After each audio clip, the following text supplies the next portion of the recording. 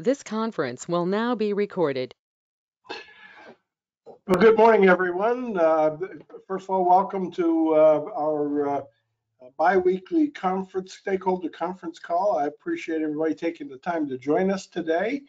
Uh, I just want to remind you, this conference is being recorded and will be posted on the Chamber's YouTube site later this afternoon.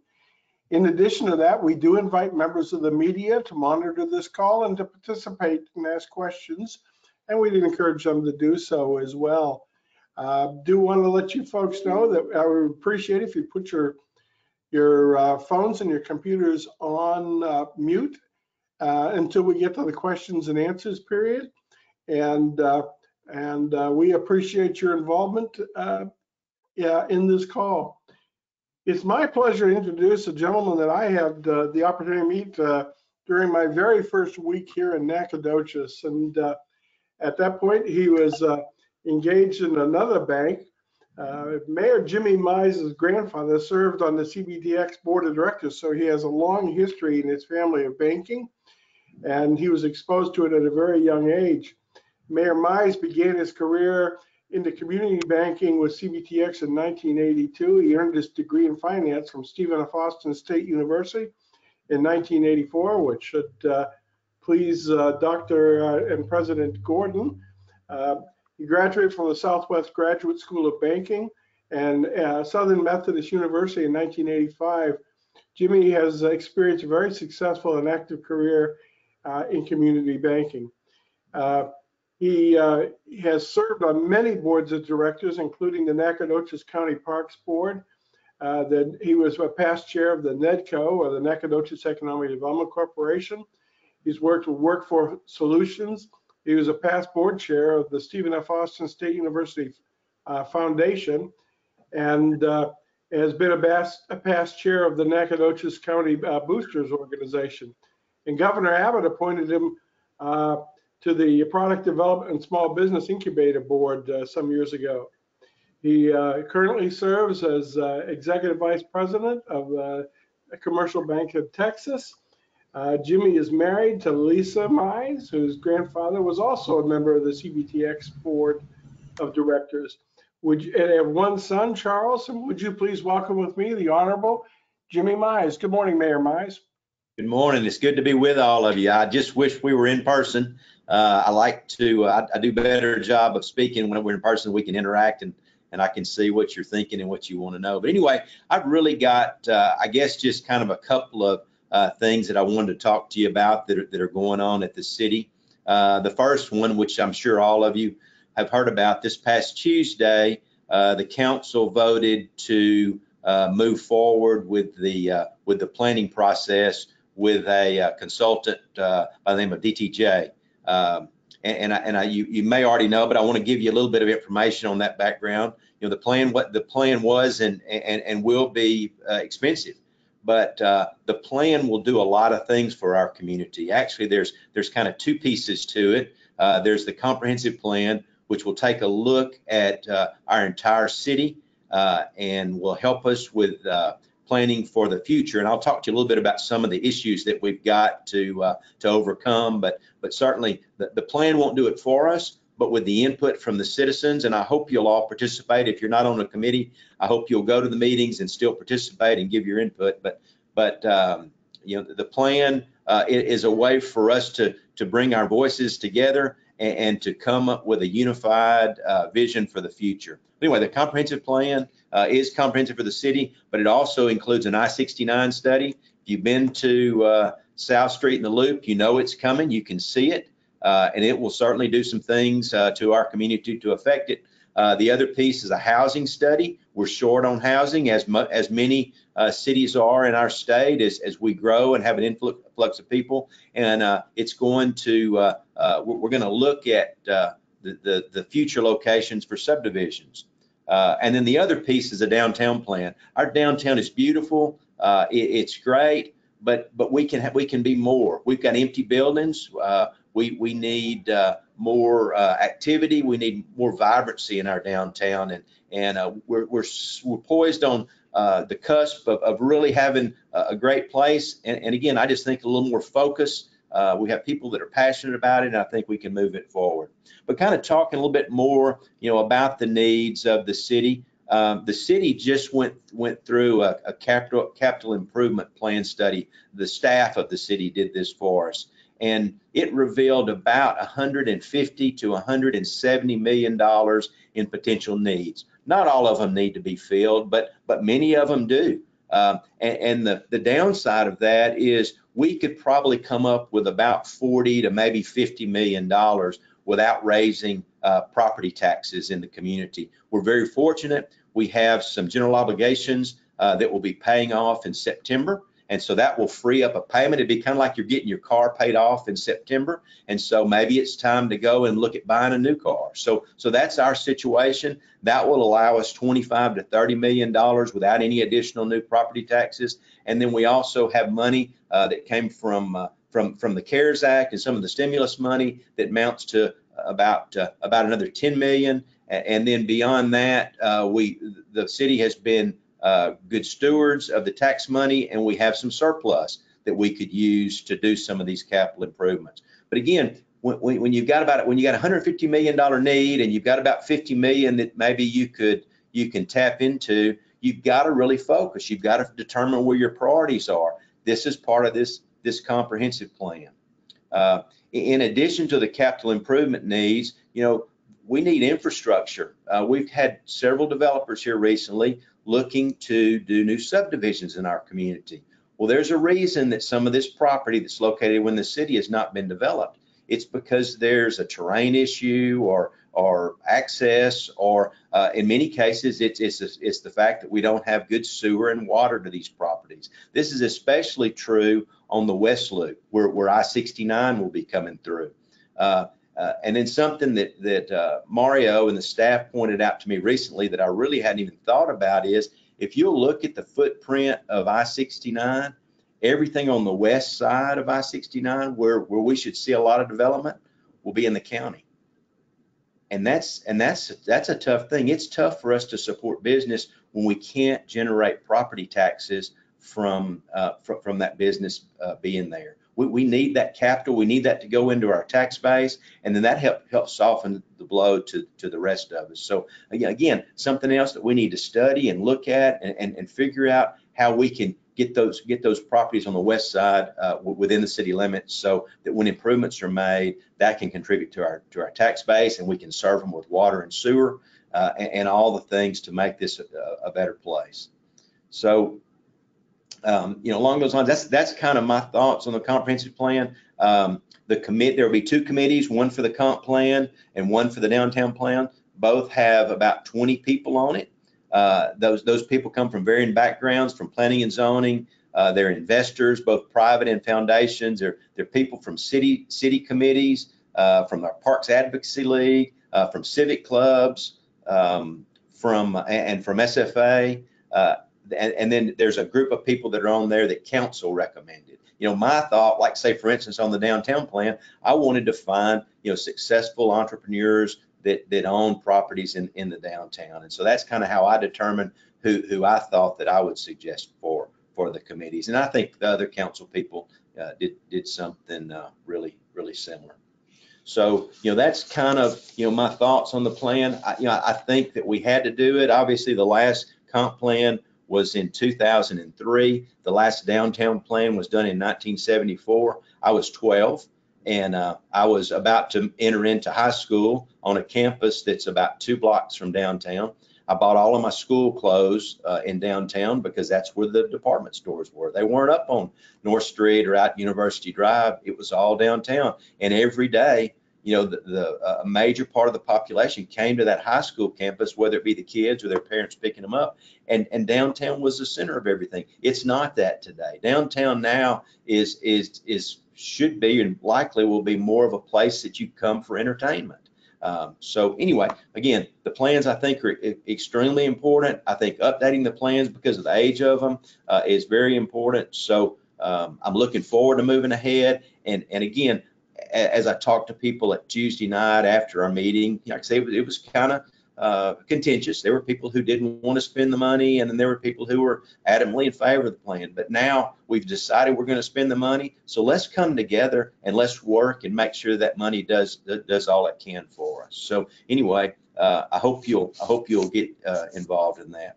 Another thing that I want to talk to you about this morning uh, is is the, uh, the, the growing sentiment towards collaboration with Lufkin and Angelina County. I am so excited. Certainly, I've been talking with Wayne, and and uh, he and the Lufkin uh, Chamber uh, have have come together, and they're working on things to move us forward. Um, the CVB uh, is working with the uh, uh, Lufkin CVB. They're, they're working to uh, have some projects together that would uh, encourage tourism. Um, some thoughts on that or uh, ecotourism, uh, things that would involve maybe a tour with our lakes that are around us, which is such a, a precious part of, of our area. Uh, maybe a bike ride that involved the two communities back and forth. So, I mean, some great ideas there that uh, Sherry and her staff are going to come up and come up with and, and bring forward to us. Um, also, uh, I was with uh, Gabe Trujillo last night, and he was talking about uh, some partnerships that he has with uh, Lynn Torres, the superintendent over in, in Lufkin, and how they're working together. Uh, he mentioned it uh, in particular that they've both been waiting on some COVID testing kits. Gabe received some, I think he said yesterday. His first call was to, to Dr. Torres to see if she had gotten hers and uh, she had not. And so Gabe said, "Hey, I'm going to make mine available to you, and then when you get yours, then we'll we'll even back up." But I mean, I think that is the way that we'll we'll move our communities ahead. I know Dr. Gordon uh, at SFA and Dr. Simon at Angelina uh, are are working towards partnerships, things that would make both of our our university and our college there in uh, in, in Lufkin better. Um, then, then additionally, uh, you know, something that that I've kind of been working on and that uh, Mayor Hicks been working on. When I was running for mayor uh, back, I guess uh, earlier in the year, uh, I ran into Mayor Hicks, and actually I knew him, uh, but I didn't know him well. And we got to talking and talking about collaboration between our communities. He and I, were, were, in our discussion, we're talking about you know, anytime we talk to uh, Travis Clardy or Senator Nichols or, or even our United States a congressman, they tell us that we are so much uh, there's so much better chance of us getting a, a need filled if we come uh, in unison and are asking for the same thing. And they can tell that we've talked about it before we've just just landed in their offices and asked for things. So so I, I think this is really going to do some good. We had uh, an economic summit in Nacogdoches with Mayor Hicks and and uh, uh, uh, our our city staff and, and EDC staff in the fall. And so the the thought was that we would do that again uh, as soon as we could after the first of the year. We've got a meeting planned for uh, February. Uh, and again, that will include uh, the, both mayors, both the city managers. Lufkin has actually got a new city manager, Kevin Gee. Kevin Gee and I are friends and, and have worked on some projects in the past and have been very successful. And uh, I look forward to uh, Mario getting to know him. I think that's going to be a, a, great partnership. Certainly, both economic development presidents will be uh, at the meeting. And then again, our goal is to create a maybe create a project or at least create you know something that we can work together on. Could be job training. I know they've got Angelina College. We really struggle with job training, but but in talking to Mayor Hicks, they need more of it. And so maybe there's something that we could work on. My vision would be that it would land somewhere between Lufkin and Nacogdoches, uh, and that, that the, both communities could see that we're really working uh, to, to to pull together. So uh, anyway, I, I think there are some some great things ahead of us uh, in that in that collaboration, and I'd encourage each of you to uh, to reach out to your your your uh, the, the person that's in your position over in Lufkin, and let's see if we can really do some some some great things. So you know, really that's my thoughts. Uh, a few, uh, you know, a couple other things. We've got a we worked on a clean sweep project in the in the fall where uh, the city staff uh, worked around downtown to pull weeds and paint stripes and fix curbs and, and pressure wash. Uh, I think it, we made a big impact on the downtown area. Uh, the idea would be that once this is done the first time, then we're going to pass it off to the property owner. And, and we want the property owner who owns a business on Main Street to keep the sidewalk in front of their business clean and, and, and, and clear of debris and weeds and looking good. So uh, we're, in the process of kind of handing that off now. But again, uh, as you see things that need attention, please bring it to the attention of the city. There is an app called NAC 311, and uh, that's a place that you can take a picture and then you can send it, and it's directly logged into the computer so that uh, code enforcement uh, can can take a look at that and and, and work to to fix those problems. So I guess with that, I'll I'll open uh, it up for questions or thoughts. Any questions for Mayor Mize?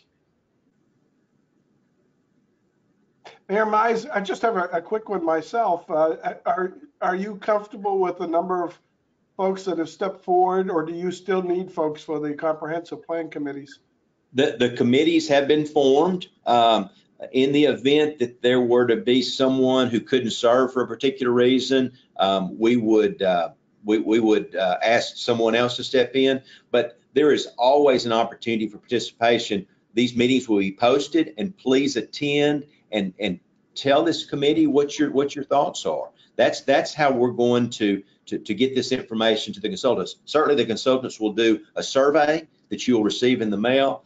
They will do uh, work at events where they're to get input. They'll do what's called man on the street, where they just meet people and try to gather information from them. So we're going to have all kinds of ways for you to give input. But but but the biggest, the best way again is to attend these committee meetings. Uh, Miles McCall chairs chairs the downtown plan, and uh, Ken Depish uh, chairs the, uh, the, the comp plan committee. So uh, if you know those people, reach out to them. If you don't, reach out to me. My email, uh, mizej at nactx.us. Please, uh, you know, tell me, give me information, and I'll connect you. Call me on my phone. Uh, I, I, your, my cell phone's available to you, so so uh, call me and tell me your thoughts, and, and let me connect you. That's great. Other questions for Mayor Mize? Mayor Mize, this is Gary Lee, Ashcraft. Um, I'm getting requests uh, from various places to support uh, affordable housing projects in the community, and I think I noticed in reading somewhere that you all are as well. Do you have any comment about that? I'm not going to put those before my board until I know something about it. We've got four to five developers that are pushing five to six different tax credit projects. These tax credit projects uh, offer housing at a reduced rate. They're not a HUD project. They're not a Section 8 project.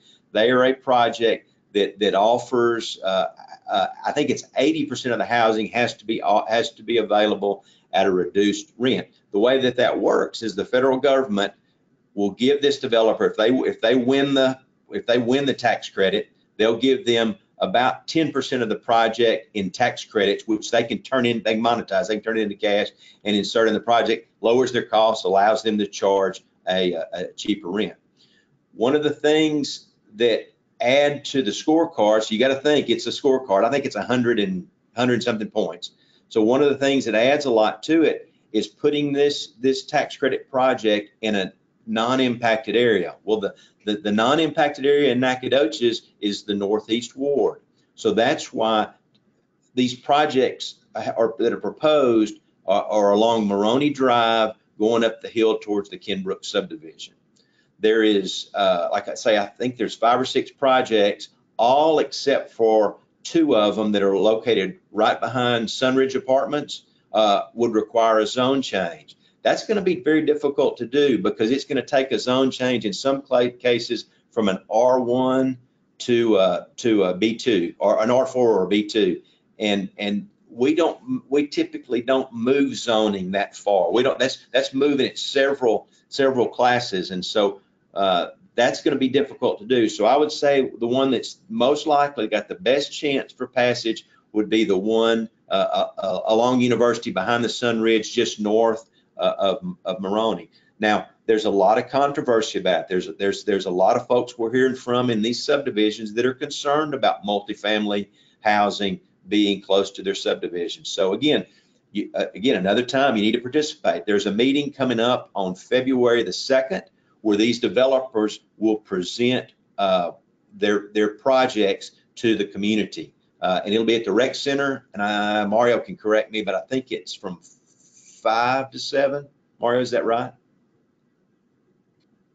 Uh, Mayor, I believe you're correct, but Larissa will have that, those specifics. Yes, I, it is from, it, it's from five thirty. Um, hopefully we won't go as long as seven, but I think we have the room till about seven or seven thirty. So it's at the CL Simon Recreation Center on North Street, um, on Wednesday, February second at five thirty. So anyway, so please participate. Thank you, Mayor. Any other questions for Mayor Mize? Hey, Yes, Wayne, I good have a- morning. I'm sorry. Go ahead. Go ahead. Mark? Uh, Wayne, good morning, and and Mayor Mize, good morning. I just wanted to, uh, to mention that, uh, Mayor Mize, uh, I know, uh, Wayne had set up a meeting a couple of weeks ago with Workforce because I know a lot of the businesses here, uh, Mayor, have, been concerned about getting employees back to work. And I just wanted to mention that Mayor Mize was selected by our 12 county judges to serve as a designated CEO for the Deep East Texas Workforce Board.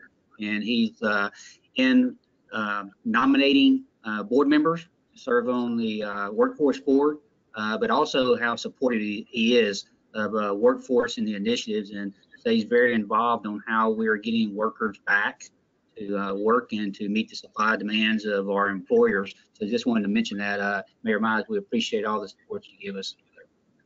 Thank you. I am. I'm very supportive of, of uh, Workforce and Mark and, and, and what they do. Uh, It's just kind of an unknown jewel. We need, we need more information about it and, and uh, I certainly appreciate what you do. And, and you might be interested in knowing, both you and Mark and, and Mayor Mize, uh, that, that uh, we sat through the call last week with the United States Chamber of Commerce's CEO, Suzanne Clark, and she clearly articulated the two major issues of supply chain uh, interruptions and the uh, difficulty in, in mobilizing the workforce. So uh, that representation is very much appreciated. One more question? I just need a clarification. This is Donna from Channel 9. Um, Mayor, can you clarify for me the, um, the low-income housing tax credit proposals? Was that something the city pursued, the property owner pursued, or these developers just popped up and say, we want to build this stuff? Donna, the first we knew about the projects was when we got a letter from the developers that said, we have applied for tax credits. This is where we would like, this is where we plan to build the facility. This is how many units, this is how many acres, this will be the density. That was the, that was the first that we knew of, of the tax credit project. Is, is this sort of thing happening in other cities? Is it just the right climate for this kind of proposal? Uh, you know, again, they, the, the federal government opened around a round of tax credits. Uh, Nacogdoches is a, uh, is a, is a bright spot, will score well because we have not had one in a while. Also, again, the northeast part of our community, uh, do- has, has not had one in a long time. And so it scores very well. And so if you'll kind of look at a map of where they're all, um, uh, have applied, it's all, uh, in, in that northeast, uh, actually that census, census tract that's the northeast ward of our city. Okay, thank you very much. I appreciate that. Thank you. Well, thank you all for your questions. And Mayor Mize, thank you for your continued service to the city of Nacogdoches and your representation. We very much appreciate it, and you're certainly welcome back at any time. Uh, I- I- As promised, I'm going to uh, ask the uh, president of Stephen F. Austin State University, Dr. Scott Gordon, to give us a a brief brief update. Morning, Dr. Gordon. Thank you, Wayne. And, and uh, again, um, just so everybody knows that our leadership cabinet meeting at, uh, is on Tuesdays at 10 a.m. So when I can, I will be on this call. Otherwise, we'll have, uh, we'll have somebody from the university that will be um, sitting in for my stead. Um, just a few uh, quick updates. Um, you know, last week, if you would have asked me how things were going with COVID, I would have said, uh, um, not so well. Um, our numbers were climbing and uh, our isolation rooms were starting to fill up. But I will tell you that over the last three days, the numbers have been going in the right direction. We last Friday had 254 positive cases. Uh, Monday, we went down to 182, and today we're down to 131. So um, we're down to uh, just a little over 20 students in isolation. At a high point, we're up in the 50s. And so we are going in the right direction. We've got a lot of testing occurring on campus. And uh, And so we're really uh, uh, positive and, and uh, have a, hopefully have the uh, COVID under control here as we're seeing those numbers decrease. Um, We're in full swing this semester.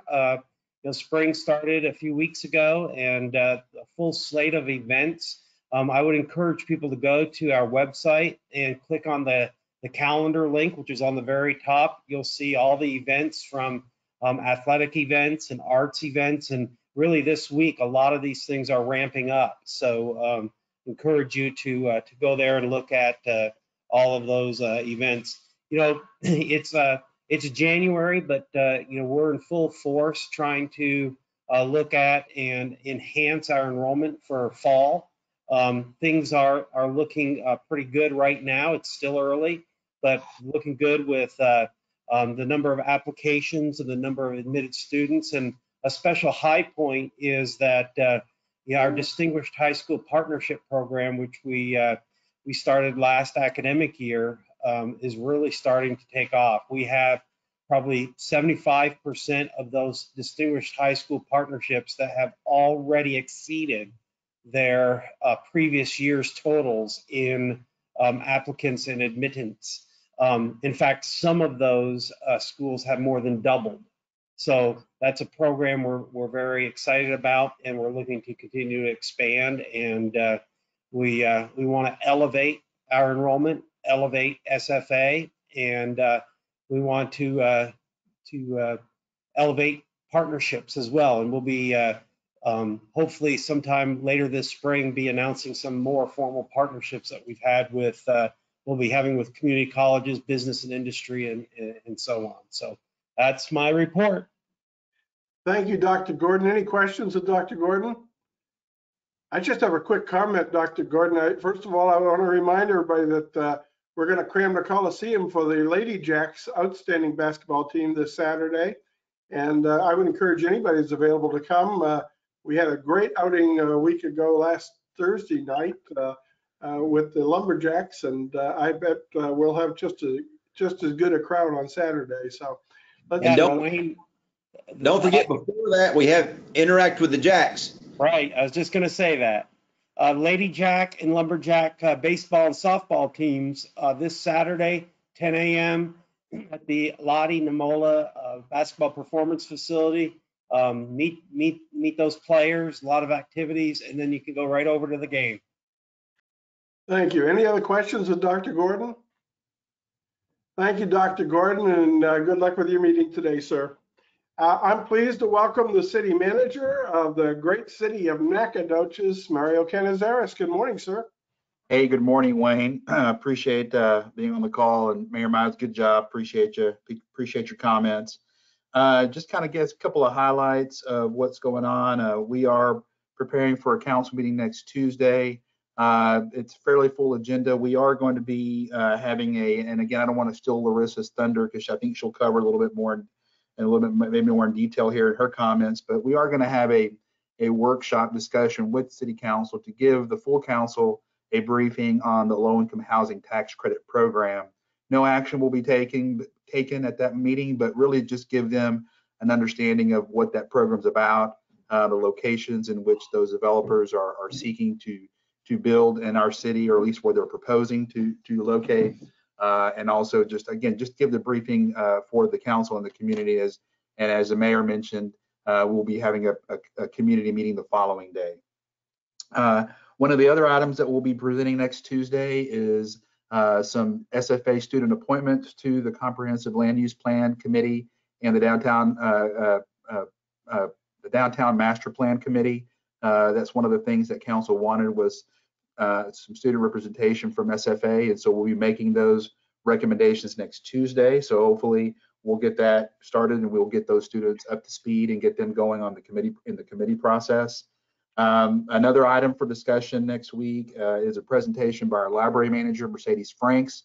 Uh, she's just going to be there to, to present uh, highlights of some upcoming uh, policy changes uh, in the library and just give a briefing of council. And it's good to have uh, Mercedes in front of council and really she shows a, a, deep passion for the library, for library services. And so it's exciting to have her in front of council to to share uh, her, her uh, level of activity there at the library. Uh, last week, the mayor, Steve Bartlett, our public works, in, uh, uh, public works director, city engineer, and our fire chief, uh, uh, uh, Keith Kiplinger, uh, met uh, with Nolan Smith with Oncor. Nolan's on the call. I don't, I'm not looking to put him on the spot, but he replaced Roger Lindsay. Many of you know Roger. Uh, Roger has moved uh, to Fort Worth area, and Mr. Smith has taken on his role as being the area representative from Oncor. It was good to make introductions uh, from our staff to him um, as we roll into the winter months and uh, just discuss uh, again electricity reliability, uh, developments in the community, and just really put a name with the face. And so, really looking forward to working with Mr. Smith um, uh, to make sure that as issues come up, we have a, a direct connection with Oncor for that vital service. Uh, and the last piece I'd like to mention is, uh, as Dr. Gordon mentioned in, in his comments about COVID, uh, certainly we're not immune by that. Uh, our organization has taken its toll with uh, operational issues, but we continue to host vaccine clinics every Friday. And I'll just make another pitch that this Friday we will have another vaccine clinic at the CL Simon Recreation Center from 9 to 1 for adults and then for children 5 to 11 at 115. And for those of you who are looking to either get your first set of vaccines or a booster, if you will please go to our website at www.nactx.us. There will be a radio button at the very front of our website with coronavirus information.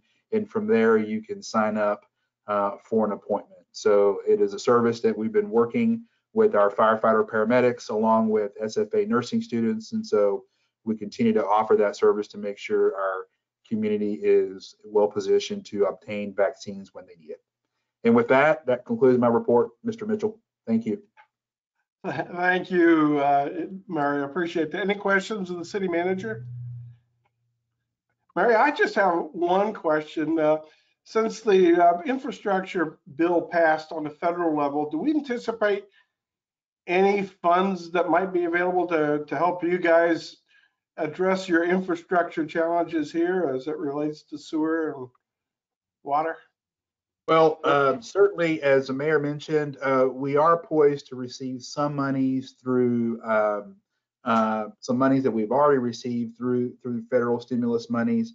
Uh, but definitely in the future infrastructure bill, we do think that there will be some opportunities for for cities and, and counties to receive some some additional funds through that process. So uh, it's really it's really reading through the regulations to see what we're eligible for. But absolutely, if, if we're eligible for it, we're going to be being pretty aggressive to go pursue them. I I appreciate that. Uh, You know, it's, it's kind of a chicken and egg situation for you folks down there because on the one hand, we certainly want new development in the city, but can, it's a capacity question, I suspect. Correct, it is. And uh, I, I don't envy the challenge that you folks face on that. So thank you very much, Mario. We appreciate that, sir. Absolutely. It's my pleasure to introduce you, the president and CEO of the Nacogdoches Nacogdoches Economic Development Corporation, Larissa Philpot. Brown, good morning. Good morning, Wayne. Thank you. Um, I'm not going to beat a dead horse on the housing tax credits. I think we've covered it a lot, but just to remind everybody, the workshop is on February the 1st before City Council. They'll just be learning about tax credits. Um, this is something, this is a really old program. It was started, I think, in 1986 by the Reagan administration. Each president and each Congress that's come through has updated it and changed it a little bit. And we get these applications probably every five or six years. We'll get a round of applications, and that's due to the way that they're scored. Um, and so it's time for those applications to pop back up. And so we're just going to spend a little bit of time with City Council educating them on February 1st. They will not be taking a vote on February 1st. Then February 2nd is that community meeting at the rec center at 5:30 PM. Um, and then on February 22nd is when City Council will be considering resolutions of support or resolutions of opposition or resolution of no opposition. Um, so y'all are welcome to come um, to any of those meetings. I encourage you um, to come and ask questions on that February 2nd community meeting. Um, that will be open to the developers and I'm just going to introduce each one and let them show their development to the community and, and let y'all ask questions. The other thing I wanted to talk about is our job fair. Um, Nedco is sponsoring a job fair with Workforce Solutions, also at the Rec Center on um, this coming Thursday from 10 a.m. to 1 p.m. We'll have a bunch of employers there as well as other agencies um, to help you, like um, Veterans Resources, Workforce Solutions, um, things like that. So, and please tell your friends and employers. Uh, I think there's still a few spots open for anybody who needs to fill positions because I know there's a lot out there looking to hire. Thank you. Thank you. Any questions of President Philpot?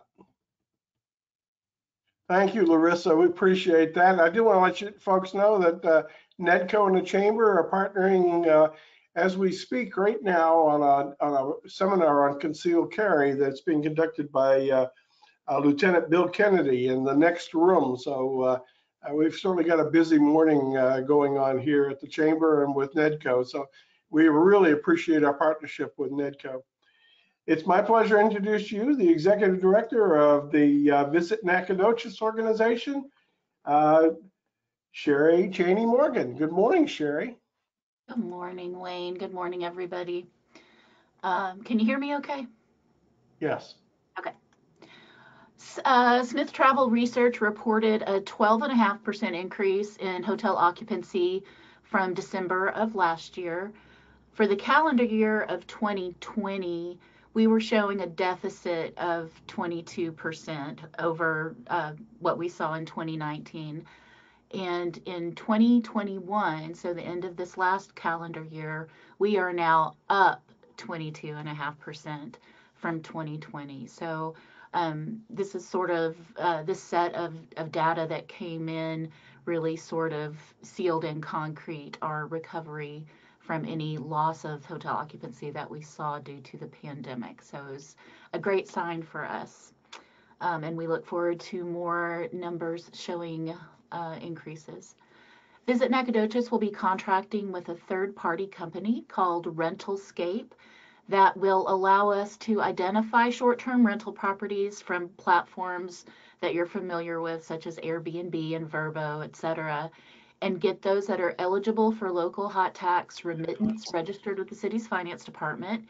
And it'll also allow us back end data similar to that which we receive from the Smith Travel Research for our traditional lodging partners, such as occupancy, average daily rate, revenue per available room, and also bookings. But most importantly, contracting with this service and having access to this data, it will allow us at Visit Nacogdoches to offer a more comprehensive and cohesive marketing of the varied lodging options in Nacogdoches to our visitors and guests. So, um, uh, the Visit Nacogdoches board was very excited to enter into this. It was incredibly affordable and will pay for itself.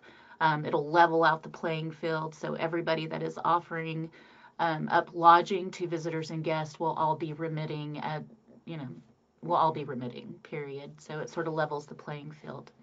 Uh, Mayor Mize also mentioned our uh, collaboration with our counterparts in Lufkin. So we are actively working on an initiative to work and program with Lufkin for more regional collaboration. And for our first project, um, we are securing another third party group that offers a web based digital passport system that can pull traffic from Lufkin into Nacogdoches and vice versa and vice versa. So imagine a taco trail or a dine around the pines passport, um, wine, whiskey, and brew that includes both communities, a coffee trail, et cetera, that sort of thing. Um, the total cost for this is $14,500, which is a lot of money for anybody, but especially for us. Um, and that would only work if Lufkin agrees to split the cost. But even at half of that, 7,250, we would need sponsorship to help defray the cost on our end. Um, I met had an opportunity to meet um, with Tara Hendricks, who's the executive director for Visit Lufkin. She's new to the job. She's started December the 6th.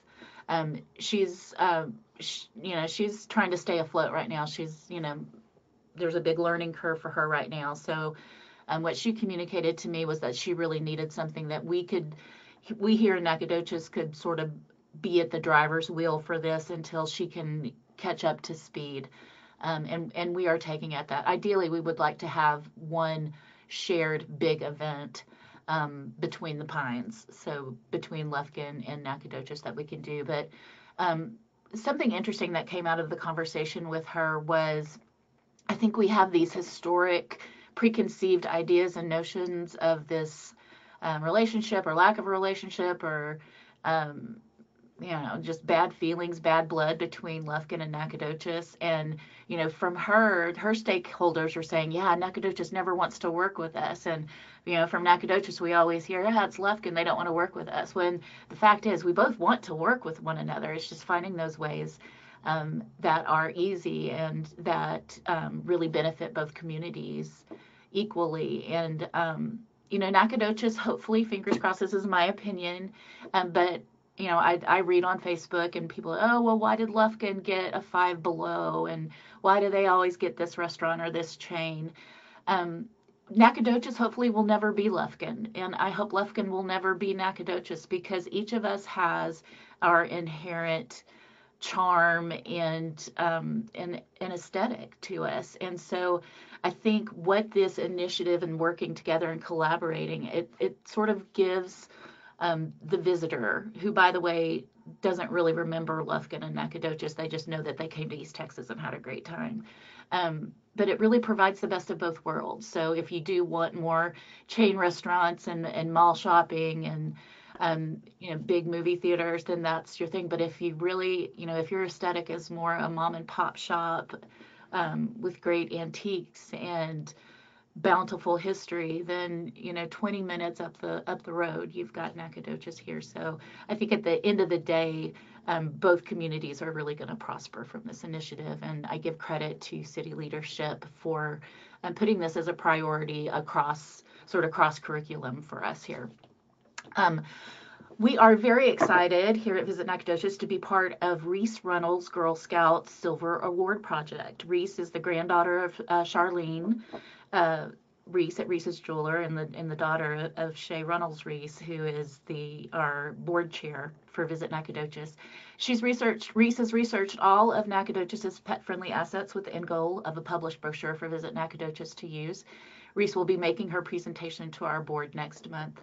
Um, and I mentioned this because we always love to, you know, primarily we are here for the visitor, but we do uh, love those opportunities that we get where we can be a part of the community. And certainly uh, the Girl Scouts have a presence here in Nacogdoches and provide a great service um, to young women as, uh, you know, as, as they grow up. I myself am a, am a Girl Scout. Um, I was asked to leave, but that's a story for another day. Uh, be on the lookout for some Love Nac themed Valentine's Day gift offerings in the next weeks. And lastly, on February 23rd, I will be presenting the importance of story keeping to the Wednesday Rotary. And I have some surprises up my sleeve. So join us there if you can. Um, as usual, thank you all for everything that you do to make Nacogdoches a great place to visit. Thank you very much, Sherry. Any questions for Sherry? Thank you, Sherry, very much for that, uh, that update. It's my pleasure to introduce to you the uh, Communications Director for the Nacogdoches Independent School District, Les Linebarger. Good morning, Les. Good morning, Wayne. Good morning, everyone. Um, as you all know, we had to have a stoppage for a few days last week because of staffing issues, both in the classroom and behind the steering wheels of our buses related to the coronavirus. But since returning on last Wednesday, our COVID cases are uh, are in decline as of the moment. We've uh, we're grateful that things are settling down now, and uh, we remain cautiously optimistic as we move on through the spring semester. Uh, yesterday, here at the uh, District Support Center, the steering committee for the new Nacogdoches ISD Education Foundation held its second meeting this is part of a year-long process of establishing the foundation that will include uh, obtaining tax exempt status from the IRS and fulfilling other state and federal requirements to constitute a 501c3 corporation. The steering committee, which also includes our mayor Jimmy Mize, who we just heard from, represents the start of naming a board of directors that will ultimately guide the foundation's formation and establish its direction in the coming months. The foundation will ultimately be able to accept contributions that can fund a number of initiatives within the districts, uh, such as grants to teachers and staff, that would pay for innovative projects in the classroom that will benefit NISD students. Erin Windham, who's also on this call, is added to her duties with the district and will serve as executive director of the Education Foundation. And over the next several months, as we continue to move forward with this, you're going to hear more about the foundation as we begin to contact potential board members to provide guidance and leadership to this. Uh, Wayne, this is something we're really excited about, and uh, we're we're grateful that we finally got this off the ground and moving in the direction we've got it going. And Erin has already done an outstanding job. And Erin, feel free to jump in if I uh, said something wrong or you need to point out anything else I might have forgotten. But uh, we're really excited about this. Dr. Trujillo's played a key role in this. Uh, it, it's it really began gaining steam when Alton Frailey was still superintendent. And of course, it just like everything else, it got put on pause when the pandemic started. But we're really excited about this, and uh, we can't wait to see this progress over the next several months. Thank you, Les. Any questions of Les or Erin or anybody? Having uh, the opportunity to form probably a dozen 501c3s in my professional life, and here at the chamber, we actually have the Chamber Foundation, which is a 501c3, which Erin Windham chairs our education committee, and it falls under that umbrella. Uh, you couldn't have a better person, in my opinion, in charge of it. So uh, uh, she'll do a bang up job for them, and uh, it'll be a great tool for the for the school system to utilize to avail themselves of additional funds for for special projects. So that's a great that's great news for Nacogdoches. Uh, with that in mind, uh, it's my pleasure to introduce your president and CEO of the Nacogdoches Area United Way. I want to congratulate him and his uh, very capable staff, uh, Caroline, on a very successful recent campaign conclusion. Would you welcome Gary Lee Ashcraft? Thank you, Wayne. We uh, appreciate that and appreciate the support of, of, all of you. I think everybody was involved uh, in partnering with the campaign, donating to the campaign. Uh, Kenny Rena is on the call. She is uh, uh, the campaign chair this year. Campaign uh, was the chair of the United Way at one time and one of our most active board members. And we came in, Kenny would get the right number, but we came in right at 260 uh, which we were very 60,000, which we were very very pleased with. Uh, a lot of that was from our new initiative of uh, that Kenny uh, started uh, with our 365 circle, and we plan to really ramp that up this year. We're going to have a very aggressive year. Uh, the 365 circle is tailored for small business and a very very affordable. Uh, a lot of the campaigns, a lot of small businesses, are they're not able to do the workplace campaign model, and this gives the small business an opportunity to par partner with the United Way, and and has been received very very well. So you'll hear more and more about that as we proceed through this year. Um, Want to let you know that we had the, the great car giveaway, uh, a very nice Hyundai Accent uh, 2021 to a wonderful woman uh, Betty Castro won that car. She is from CBTX. Uh, we had uh, five, I believe, finalists for the car, and Rex was gracious uh, to give each each finalist a gift uh, that was substantial, and we're uh, we're excited about what's going to come up this next year. This year, I mean, in 2022. But Betsy's really enjoying that car, and it was an exciting event at his at his dealership. Um, I want to let you know about something I thought was very exciting. Again, Kenny was involved with me on this one. Uh, we are freaking frack on these deals, but we were able to secure a uh, $10,000 grant uh, from United Way Worldwide. The grant is the result of COVID funds, of course. Uh, there were 400 applicants, uh, United Way organizations across the country. Uh, only four received the grants. The, the $10,000 is a big deal to our small organization. Uh, the reason that I eyeballed the thing is that there was a section where we could apply uh, for the grant to be used for upgrading our technology, of which our uh, computers and things like that in our office are over 12 years old. So uh, I'm surprised they still work. So we're going to be able to now uh, formulate a plan to, to communicate better with you all and to communicate better when we have emergencies with uh, our distrib, our, our networks and, and what have you. So I was really, really excited about that. I want to give a shout out, and I'll embarrass him because he's, he doesn't, uh, he's, he's not about this. I am. You can shout out about me anytime you want to. Uh, but to Mike Ellswick, uh, I don't know how many of y'all were involved in the bell ringing, uh, campaign in, December, but it was exciting and Mike was everywhere and his volunteers and what have you. Uh, I, I don't have a number from Mike. He's welcome to jump on if he wants to, but Mike, uh, you're doing a great job in, uh, elevating as, Dr. Gordon says, the Salvation Army. It's everywhere. And all of our partner agencies are doing well. Uh, this year, we're, we're seeking more funding. The more funding, the more people we can help. Uh, we're all about raising money and giving it away uh, in an orderly, good fashion. Mind you that uh, with all of this, we live in the uh, uh, second uh, most poverty-stricken region in Texas, and there's a lot of work to do. And our 20 some odd leaders of our agencies, our partner agencies, work hard to do what they can to provide people opportunities to be in our workforce and go see our friends at Workforce Solutions and go to work. And uh, so we're all about economic development right up there with NEDCO, Chamber of Commerce, Workforce, and all of the rest. So with that, I think I can get off uh, this call and thank you for having us on the call, Wayne. Thank you, Gary Lee. Any questions of Gary Lee? Again, our congratulations on a successful campaign, Gary Lee. Just want to let you know. Uh, first of all, I want to take a moment, thank everybody, thank Mayor Mize for being on this call here today. Uh, it certainly is uh, uh, great to hear all of the happenings at the city, and uh, we wish you continued success. I want to thank all the presenters today that took time out of their busy schedules to join us today.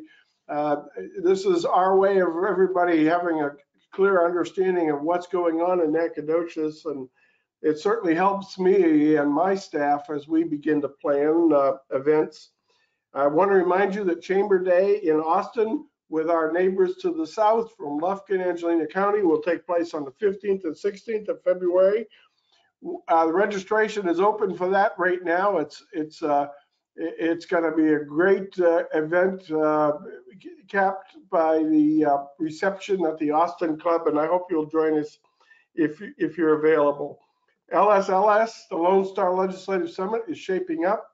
It's going to be a big event, and uh, again, that'll be April 7th and 8th at both the Fredonia Hotel and and at the uh, beautiful campus of, of Stephen F. Austin State University. Leadership NAC will be taking applications in the next few months, so if you've got candidates, please get those names to Kelly as soon as possible so that we can get them into the pool. Uh, again, it'll be limited capacity, but if you've got a candidate, and I bet right now we're approaching probably eight or 10 right now names that we've heard from, uh, please get those to Kelly as soon as possible. Blueberry Festival is already in planning. We've had our meeting, the first initial meeting. It'll be very capably chaired by Grace Handler once again, and we've got some new events, uh, including pickleball. Uh, that's a that's a new sport that I'm very interested in. If you're if you're a pickleball expert, then there'll be a way to participate. So we're looking forward to that. And again, that'll be uh, the second Saturday in June. And last but certainly not least, the lot crew, the leaders of tomorrow crew are meeting and having a great experience. We got 37 youngsters involved in that. And we will have the Noble Banquet, I believe, on March 28th at, at, on the campus of Stephen F. Austin State University. And the keynote speaker on that will be uh, will be uh, uh, uh, Alton Frailey. He's going to come back and join us and and give us, uh, uh, a, a, I believe, an extraordinary address. So plan on putting that on your calendar. With that, there's nothing additional. I want to thank all of you folks for tuning in, and uh, we hope you have a happy and successful and prosperous week. Thank you very much.